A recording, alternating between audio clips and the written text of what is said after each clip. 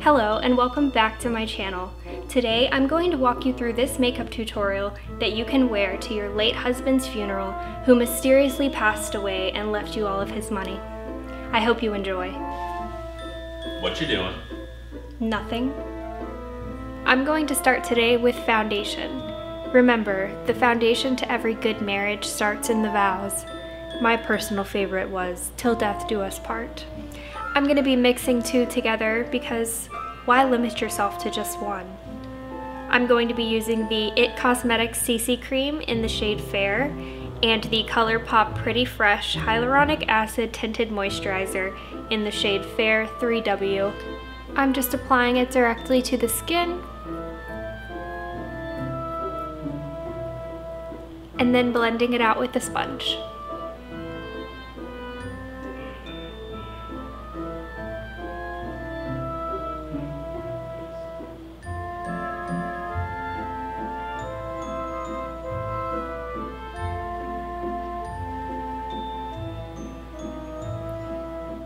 Once that's blended in, I'm gonna go in with concealer. This is the Smashbox Studio Skin 24 Hour Concealer in the shade Fair Light Neutral. I'm just going to apply this under the eyes to conceal any darkness,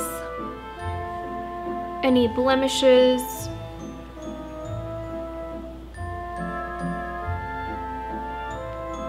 any evidence, and once again, blending.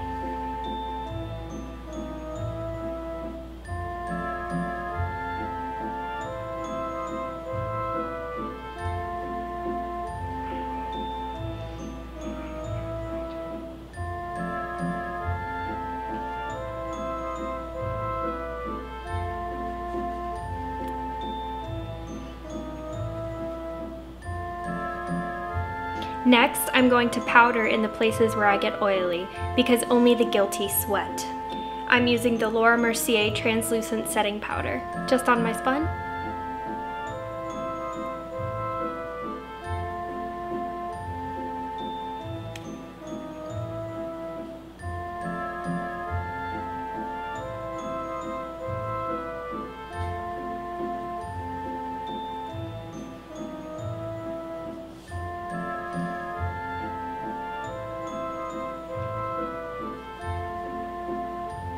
I did add some concealer to the eyelids to act as a primer for the eyeshadow because we want our makeup to stick, not our charges. And I'm just gonna put a little bit of powder there as well.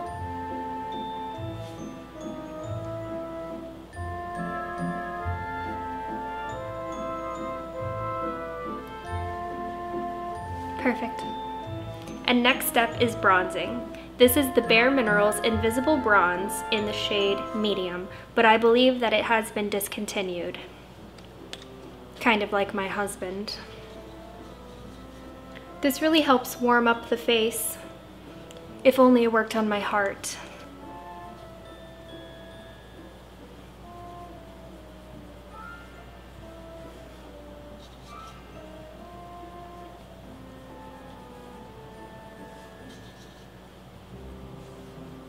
Next, I'm going in with some blush. This is the Fresh Minerals blush in the shade Sun Tone. Blush is really important for looking healthy, young, youthful. And we really need the old rich men to continue believing that we are, in fact, in our early 20s.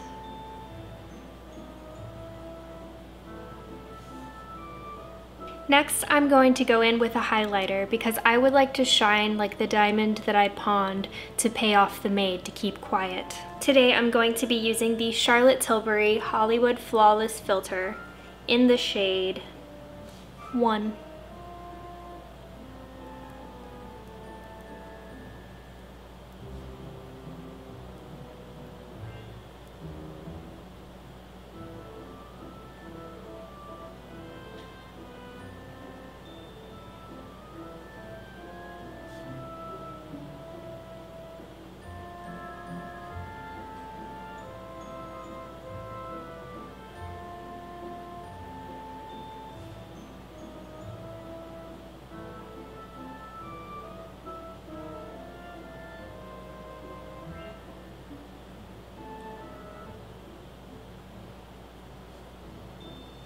Next, I'm going to fill in my brows with the Anastasia Brow Wiz in the shade Caramel.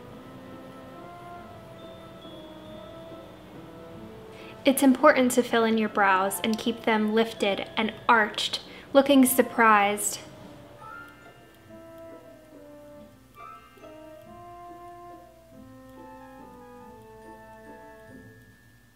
Just like you were surprised when the police came to your door to alert you of your husband's mysterious passing.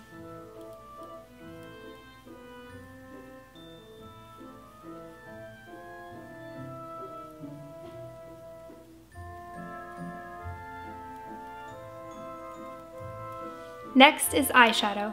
I really like to use warm tones to bring out the green in my eyes. For money, not jealousy, of course. And for that, I'm going to use the palette from ColourPop and Raw Beauty Kristi at Forest Sight. It's full of these lovely warm tones and also I want her to be my friend.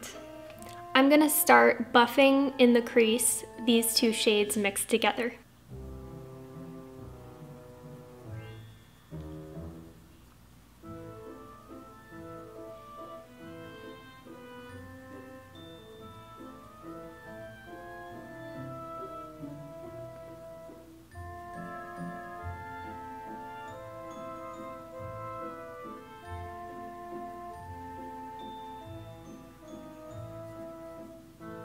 Once those are lightly applied in the crease, I'm going to apply this shade.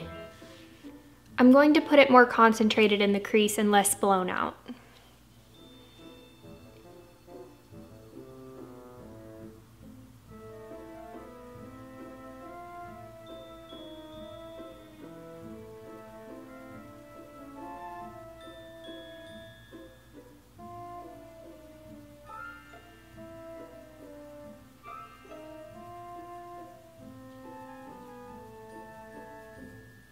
Next, I'm going to use ColourPop Super Shock Shadow from the same collection in the shade Like a Moss. I like this shade because it has kind of a shift to it. And it really symbolizes how I can shift personalities. I like to apply this one with my fingers because I don't mind getting my hands dirty.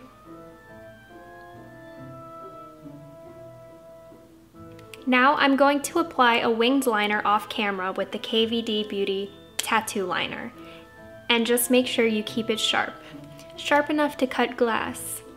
Definitely not your rich husband. Next, you want to go in with some mascara. This is the Milk Kush Mascara.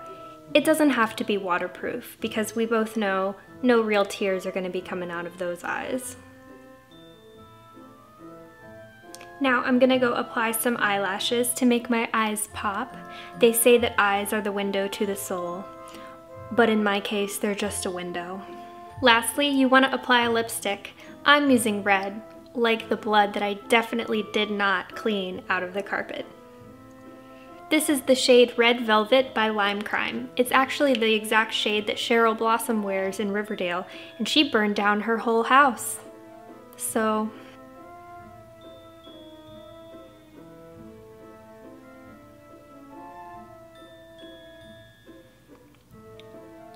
I like to overline a little bit because stretching the truth never hurt anybody.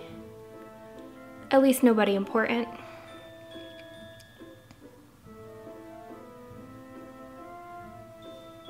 I'm going to set everything with the Milani Make It Last setting spray because the only thing you want stronger than your setting spray is your alibi.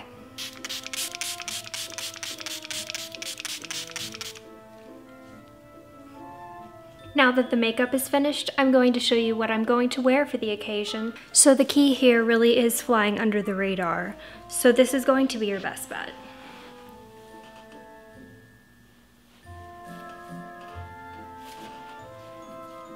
Before you go, you also want to practice this movement here.